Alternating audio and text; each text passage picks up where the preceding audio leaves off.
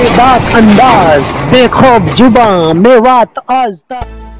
Hello दोस्तों, मेरा नाम है प्रिंस और आप देख रहे हैं मेवात आज तक। दोस्तों, आपके लिए एक बड़ी खबर बताने जा रहे हैं। बड़ी खबर यह है कि तुर्की को सोने का एक विशाल भंडार मिला है। जी हाँ दोस्तों, सोना किसी भी देश की एक ताकत होती है। जिस देश के पास जितना सोना हो, वो उसका संपन्न है। तुर्की में सोने का एक विशाल भंडार मिला है। करीब निन्यानवे टन सोने का विशाल खजाना तुर्की के सोगुट शहर में मिला है। स्टेट न्यूज़ एजेंसी की रिपोर्ट के मुताबिक सोगुट शहर में सोने का विशाल भंडार मिला है।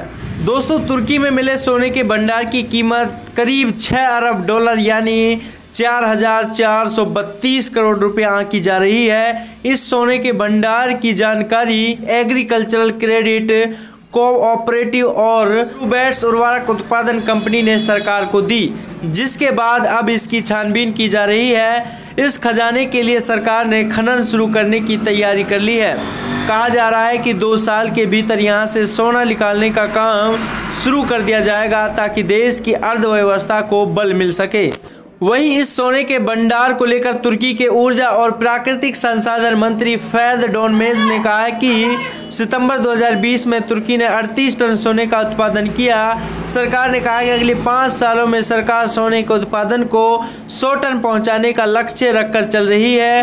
उन्होंने कहा है कि इस सोने को अगले दो साल के अंदर निकालने की प्लानिंग तैयार की जा रही है। दोस्तों, आपका क्या कहना है हमें कमेंट करके ज़रूर बताएँ और लेटेस्ट खबरों के लिए हमारे चैनल को ज़रूर सब्सक्राइब करें।